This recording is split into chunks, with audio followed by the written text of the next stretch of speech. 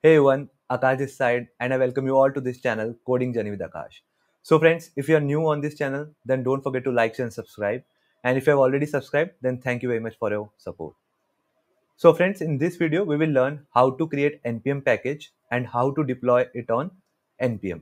So, friends, there are like several steps that we will take into consideration before moving ahead. For example, first of all, we have to think of a package that we want to create. So for the sake of this particular video, uh, I will be creating one email validator. It will be a simple function that will take email as a string and it will return true or false uh, on the basis of that particular email. If it is valid, then it will return true, else it will return false. Secondly, we have to create the NPM account. So let's quickly do it. So friends, I already have account on NPM, so I'm not going to create it. But what you can do, you can simply click on sign up and fill your details and you can simply create your account. For me, I already have the account, so I'm simply going to sign in. So friends, I have successfully signed in into my account. Okay. Now the next step is to create our folder first. So first what we can do is we can simply have the folder uh, like let's suppose we want to name it as package something like this and inside this package folder what we can do is simply run this command that is npm init cool so over here, it's asking the name of the package. So I will simply name it like validate email, something like this. Version, we can say yes, keep this particular version. Description, like uh, email validator, something like this, we can name it. Entry point will be index.js. And uh, test command, let's uh, just press enter. Uh, git repository, press enter actually right now i have not created the git repository but if you have created you can simply add that git repository over here. Keywords we can say like email valley data. I think it's okay. So something like this. Author i will give my name over here.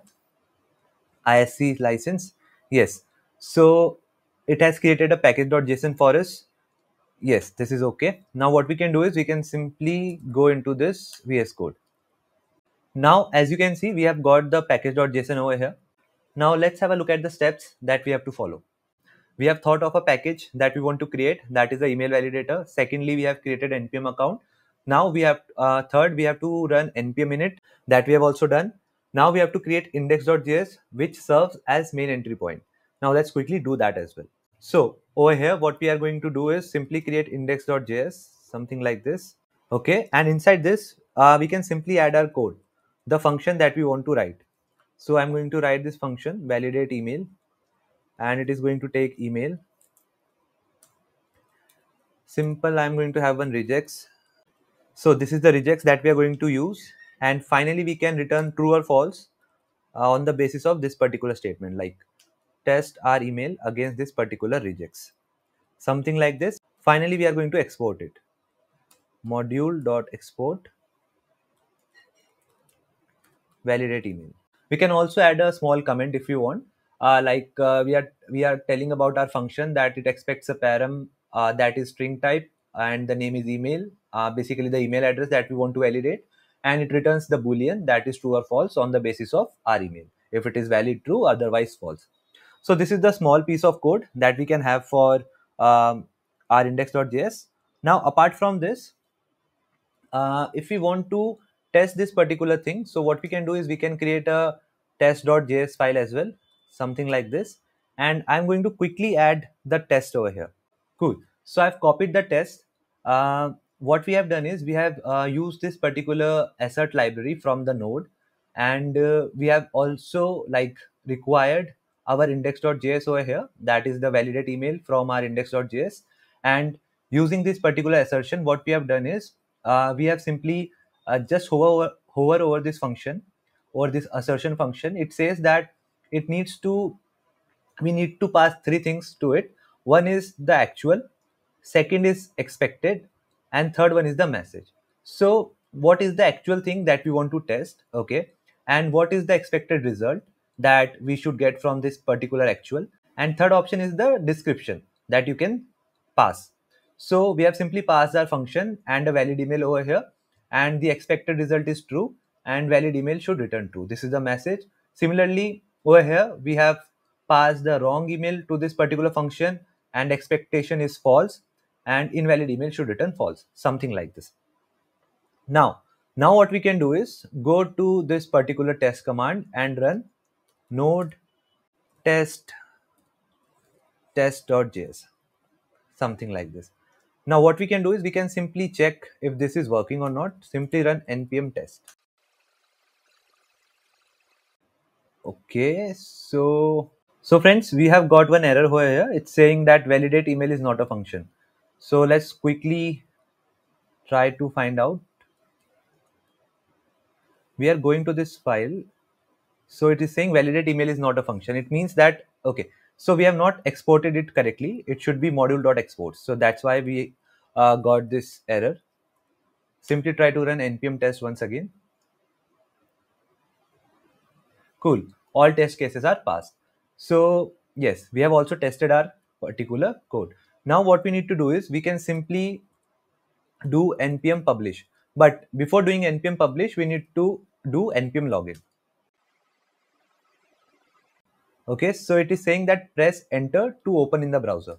So as we can see, it's saying that uh, two-factor authentication and it is saying that we have sent an email uh, on this particular email ID and we need to enter the OTP. So what we can do is quickly go ahead and enter the OTP.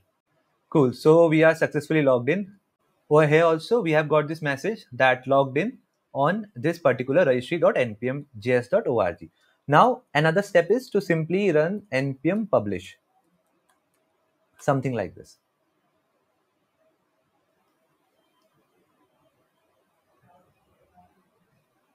Okay, it is saying that uh, let's see what it is saying. Yes i am logged in as a correct user.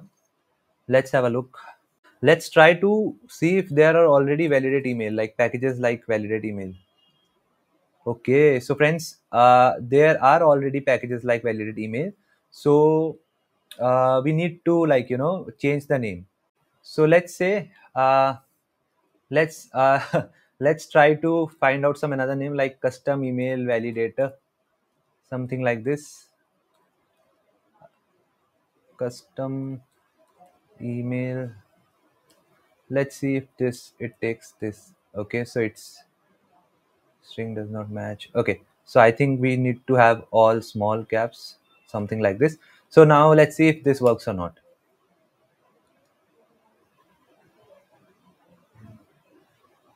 Cool. So as we can see uh, we have got this message that is publishing to this particular website uh, basically npm js and this is our particular package and this is the version that is published. Okay? Cool. Now let's try to search the package that we have just created. Custom email valley.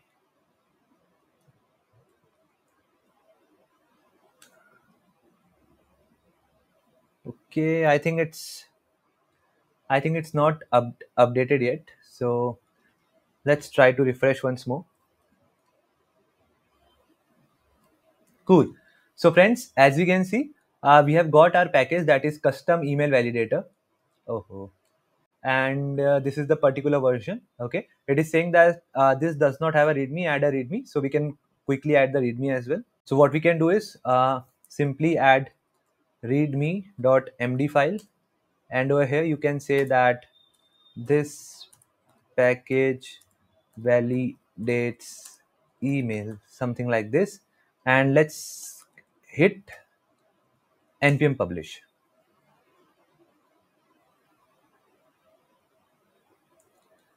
okay we have got one more error it's saying that you cannot publish over the previously published version okay cool so it's saying that uh, I'm going to simply increase this patch version. Actually, the version was same. That's why it, we got the error. Now let's uh, publish it once more. Cool. So our package is published. Let's try to refresh it.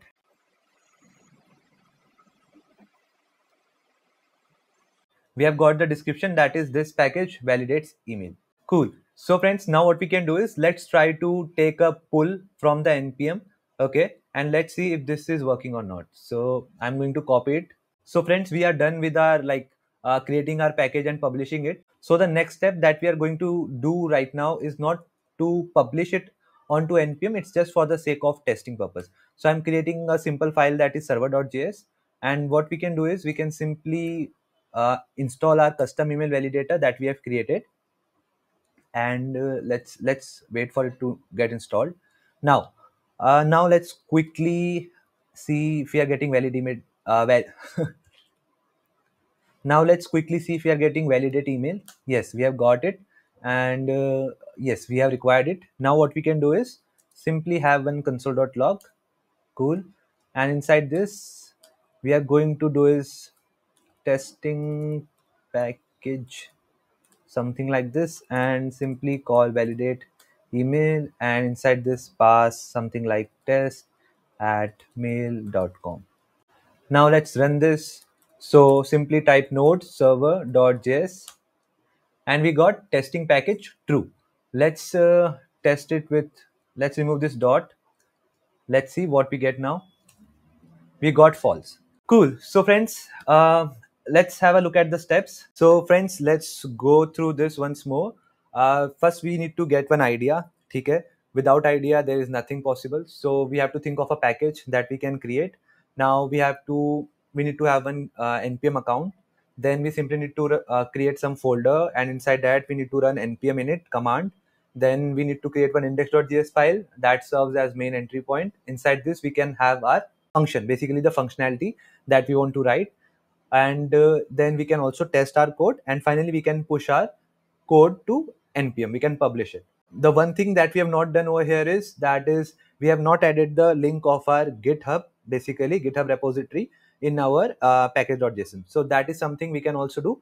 But things apart we have successfully published our code to npm and if you have learned something new then don't forget to like and subscribe. Thank you for watching